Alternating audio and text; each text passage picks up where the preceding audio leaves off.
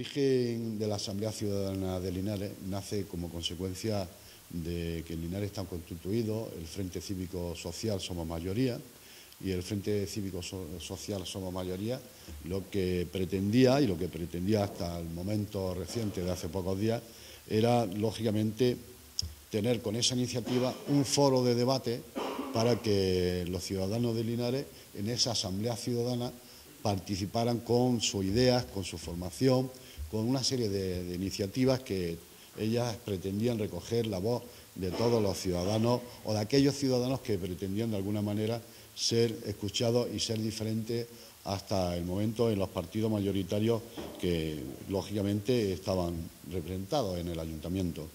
De tal manera que todo ese tipo de personas que estamos eh, en la Asamblea Ciudadana de Linares, pues no se sentían representadas en ningún momento por los partidos que estaban en el Ayuntamiento de Linares. Los nombres no hace falta decirlos, sino que los conocemos, y sobre todo por los partidos mayoritarios que hay en nuestra ciudad. Por lo tanto, a partir de esta Asamblea Ciudadana, lo que nosotros entendíamos era recoger esa iniciativa, recoger esa idea y hacer un proyecto, un programa de trabajo que se pudiera presentar en el, en el Ayuntamiento de Linares por una serie de personas que fueran novedosas o que fueran nuevos, que estuvieran más tiempo en la política, pero que en algún momento determinado no habían estado eh, en estos dos partidos mayoritariamente elaborados.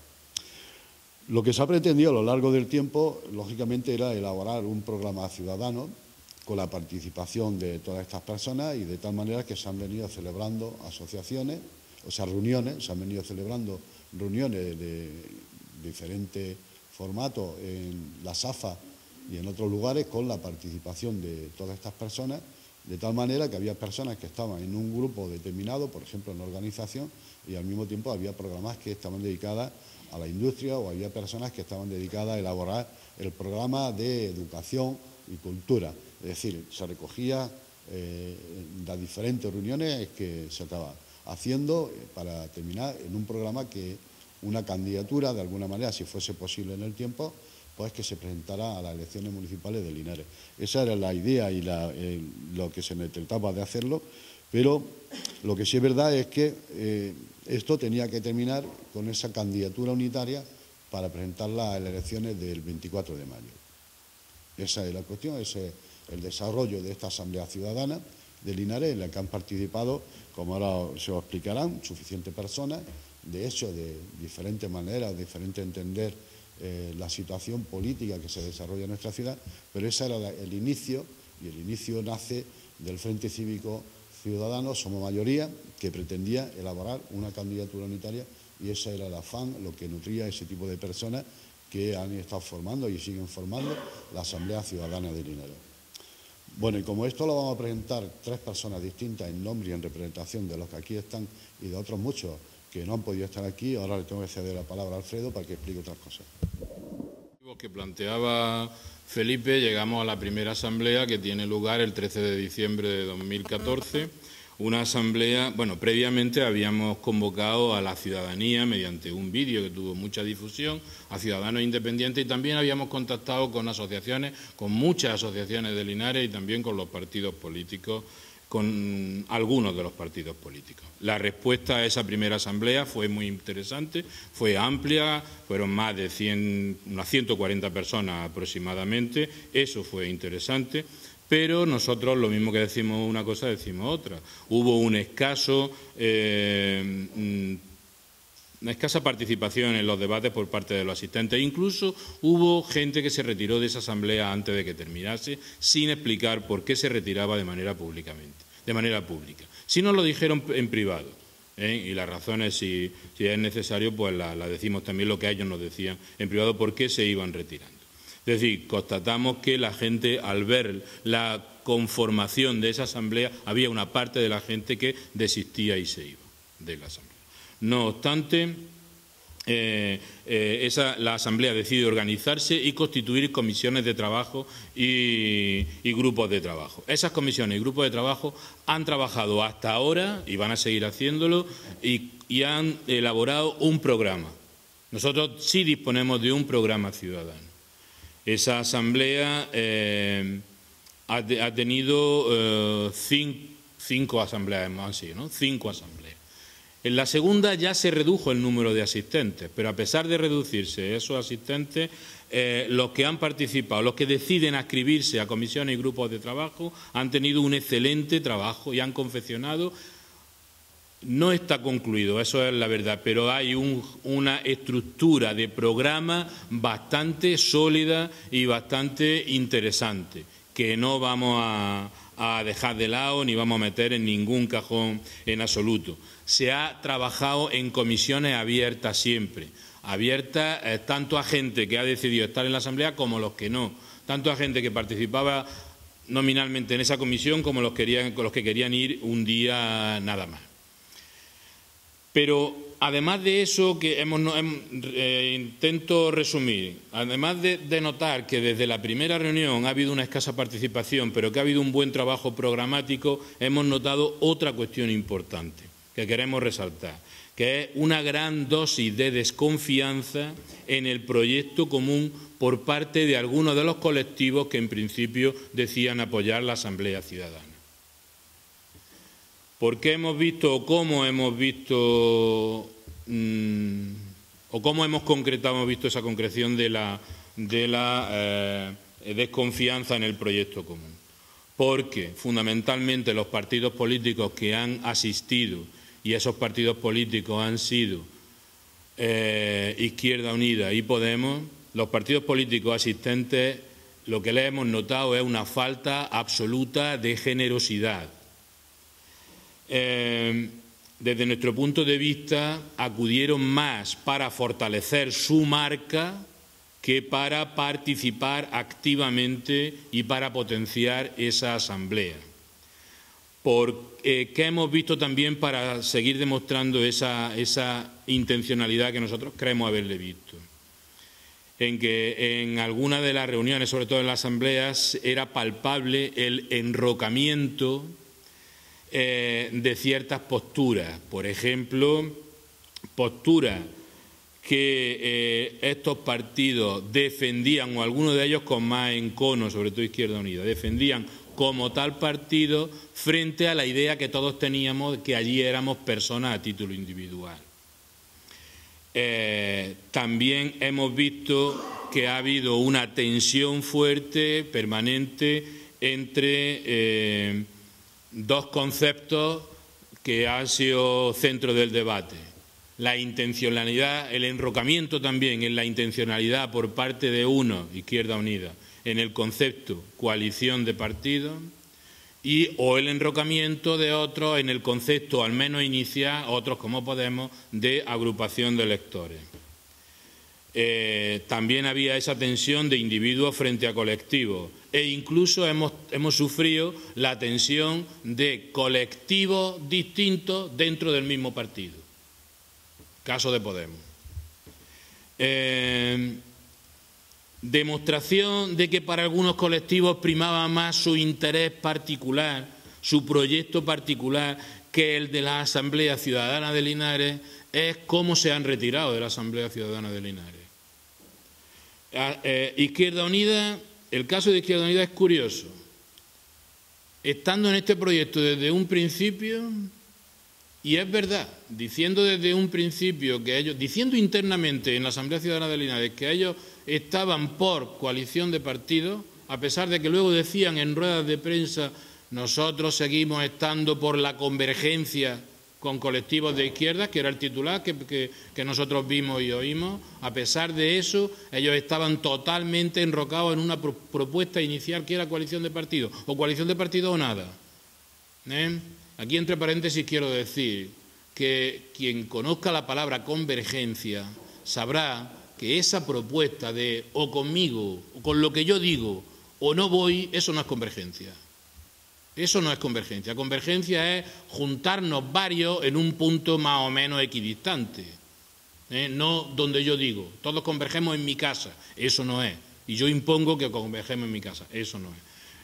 Esa es la forma en que se sale Izquierda Unida. Se sale perdón, no, la forma con falta de respeto al colectivo es deja de asistir sin comunicar nada. ¿Lo comunica dónde? En la prensa, que es muy bien, que está muy bien, que es legítimo, que lo comunica a la prensa, pero en ningún momento le dice nada a la Asamblea Ciudadana de Linares.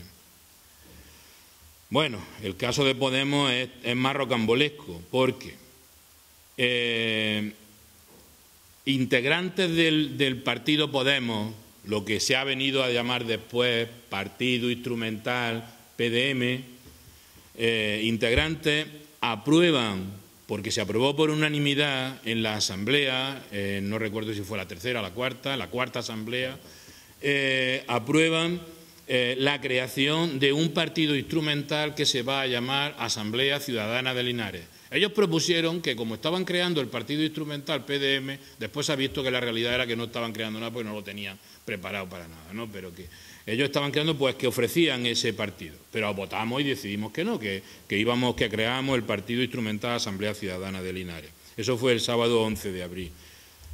Pero eh, apoyándolo e incluso Mm, pidiéndole, preguntándole individualmente a uno y a otro, ¿estáis por este proyecto? Insistiendo en que sí. Al lunes siguiente, eso fue un sábado, al lunes siguiente, día 13, anuncian por la tarde, después de estar en una reunión de la Asamblea Ciudadana sin decir nada, o anuncian a vosotros en la prensa que van a iniciar las primarias para crear su partido. Bueno, la noticia de Gaby Sacao hoy en la prensa demuestra que esto se parece mucho al perro del hortelano que ni come ni deja comer, ¿no? O también otros podían hablar de la justicia poética, ¿no? Eh, eh, se demuestra que en ambos casos se ha respondido, uno a intereses de partido y otro a intereses bastante personales, que nos molesta mucho decirlo, pero no vemos otra, otra, otra cuestión para, no queremos ocultarlo. ¿eh? son eh, no a los intereses colectivos de un ente superior que se había creado, que era la Asamblea Ciudadana, eh, sino a los intereses particulares, repito.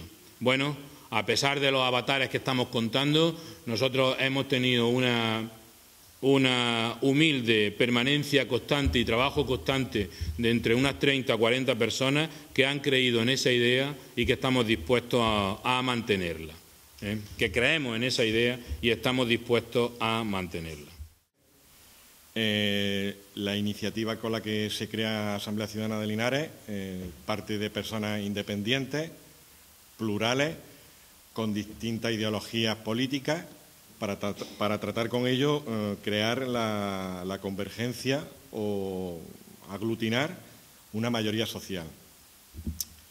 Eh, al final la, decisión de, al no conseguir el objetivo de, convergencia con otras formaciones políticas para sumar en lugar de dividir, eh, la decisión que tomamos eh, asambleariamente fue la de no crear o no hacer una o no presentar una candidatura a las próximas elecciones municipales. Entonces se nos abre un nuevo escenario, ya que decidimos no presentarnos a las elecciones municipales ¿Y el escenario nuevo cuál es?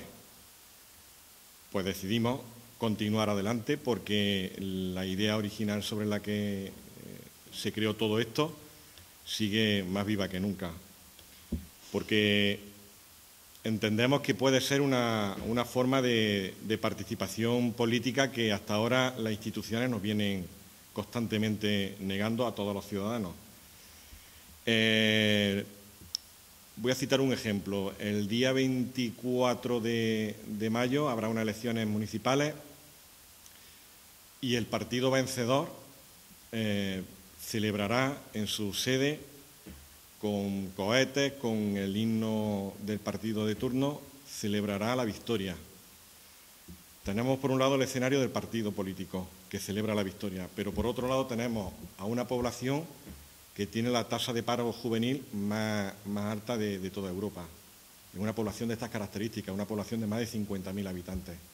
Tenemos la tasa de paro que todos estamos sufriendo y viviendo. Entonces nosotros percibimos que hay un desafecto y entendemos que los partidos están al margen de la sociedad.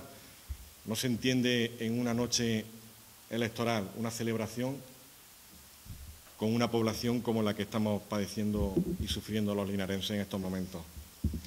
Eh, vamos a seguir continuando en el tejido de, crear un tejido de, redes sociales que, participen activamente, que participen activamente y que apuesten por el cambio. Eh, para ello vamos a crear instrumentos de movilización, vamos a seguir fomentando instrumentos de movilización, de concienciación y debate social.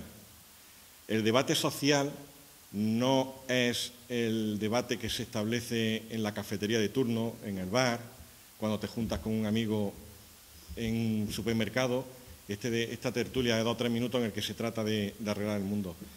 Entendemos que Asamblea Ciudadana de Linares es una herramienta muy válida, puede haber otras y esperemos que surjan otras herramientas para tratar de, hacer todo lo que han comentado anteriormente tanto Felipe como Alfredo, porque al fin y al cabo de lo que se trata es de, mejorar el Linares que todos y todas conocemos y estamos sufriendo ahora mismo en este momento. Eh, porque más que nada hay que entender una, una situación que tenemos ahora mismo en Linares. Linares tenemos ahora mismo problemas que la amenazan de muerte, así de crudo tenemos problemas que amenazan de muerte y podemos llegar a conseguir de Linares, eh, posiblemente si no se revierte la inercia que tenemos, el Chernobyl del sur de Europa. Es decir, podemos tener una ciudad con un acerado, con calles asfaltadas, con edificios, con parques, con jardines, pero totalmente despobladas, porque todos estamos viendo cuál es la situación real, que no es este el momento de, de, expresar y de, enumerar. Em, nos encontramos con, con edificios sin personas, con viviendas sin personas, nos encontramos posiblemente con la mayor cantidad de suelo industrial sin darle uso y esta situación creo que hay que revertirla y hay que cambiarla, porque si no volveremos a un Linares de la era preindustrial, que eso nadie de los que viven actualmente en Linares lo conocen. Por ello, simplemente vamos a seguir profundizando en, en la elaboración del programa, que seguimos trabajando en él, proponiendo siempre lo más favorable en interés de la mayoría social. Y concluyo diciendo que desde aquí hacemos un llamamiento a, todas las personas que, que en su momento acudieron a Asamblea Ciudadana de Linares y que la abandonaron. Hacer un llamamiento a estas personas para que, para que se incorporen, ya que los obstáculos que, que ha dicho, como ha dicho anteriormente Alfredo, que nos confesaron a todos en privado, todos estos obstáculos han desaparecido. Y entonces es un buen momento para, para conocer Asamblea Ciudadana y para incorporarse.